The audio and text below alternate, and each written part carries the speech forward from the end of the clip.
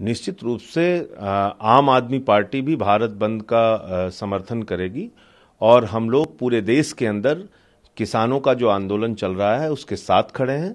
Party के हमारे नेता और दिल्ली के मुख्यमंत्री अरविंद केजरीवाल जी ने साफ़ तौर पे कहा है, सड़क से लेकर संसद तक विधायक हों, सांसद हों, हमारे कार्यकर्ता हों, सारे के सारे लोग किसानों के आंदोलन के साथ खड़े हैं और वो खड़े रहेंगे, इसलिए कि ये देश के अन्नदाताओं का आंदोलन है। उनको बदनाम किया जा रहा है, उनको लाठियों से पीटा जा रहा है, उनके ऊपर आँसू गैस के गोले छोड़े जा रहे हैं, उनपे मुकदमे लिखी जा रहे हैं, उनपे आँखें उनकी फोड़ दी जा रही हैं। और एक संवेदनहीन सरकार है जो देश के लाखों करोड़ों किसानों की मांग सुनने के बजाय लाइट एंड साउंड कार्यक्रम में हमारे देश के प्रधानमंत्री आनंद उठा रहे हैं कार्यक्रम का।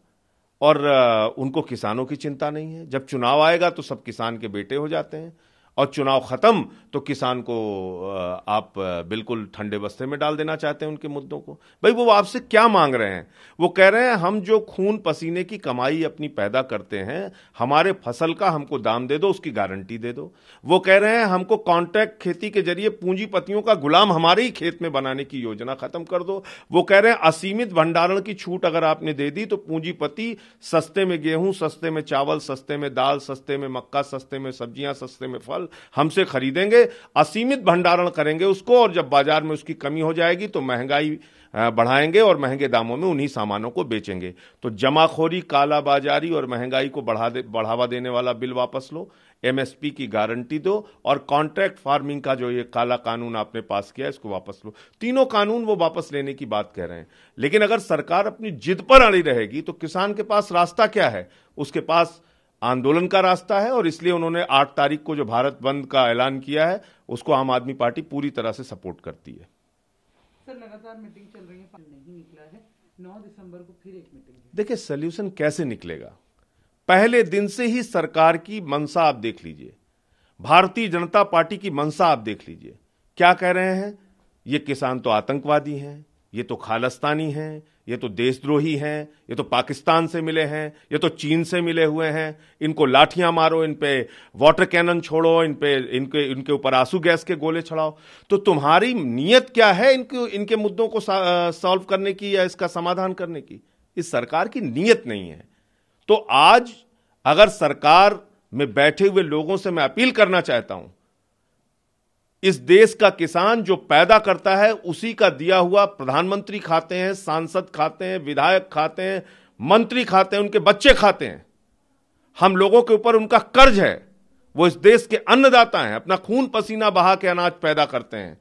तो जो लोग भी हिंदुस्तान का दिया हुआ खाते हैं, वो इन किसानों के आंदोलन का समर्थन करेंगे। जो पाकिस्तान का दिया हुआ खाते हैं, वो इन किसानों को आतंकवादी कहेंगे। वही कह रहे हैं आतंकवादी। आप देख लीजिए, इनका एक मंत्री कह रहा है, इसमें पाकिस्तान का हाथ है, इसमें चीन का हाथ है। अरे, तुम्हें शर्म नहीं आती? शहीद आज़म भगत सिंह के वंशजों को तुम आतंकवादी कह रहे हो? शहीद उधम सिंह के वंशजों को तुम आतंकवादी कह रहे हो? लाला लाजपत राज लाला लाजपत राय के वंशजों को आतंकवादी कह रहे हो? आप आप करतार सिंह के वंशजों को आतंकवादी कह रहे हैं? आपको शर्म नहीं आती?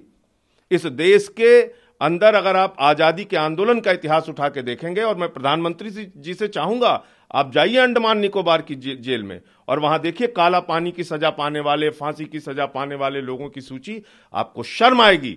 जिस तरीके से आज आप पंजाब को बदनाम करने की कोशिश कर रहे हैं, आपकी पार्टी पंजाब को बदनाम करने की कोशिश कर रही है, सिख समुदाय के पंजाब के लोगों को, पंजाबियों को बदनाम करने की जो कोशिश की जा रही है, मुझे लगता है कि ये बहुत हैरान करने वाली बात है।